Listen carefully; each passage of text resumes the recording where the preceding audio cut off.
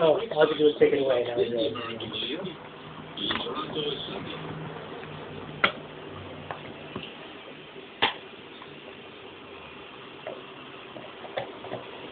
Well, Speaking of runs, uh, for Patterson, he scored 13 times in the last 12 games.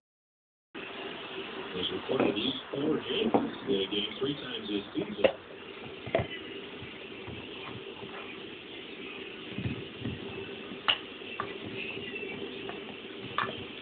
two pitch from Clay Buchholz. This one down and in, and you don't know. The check is Eric Cooper. Third base umpire, it's one and two.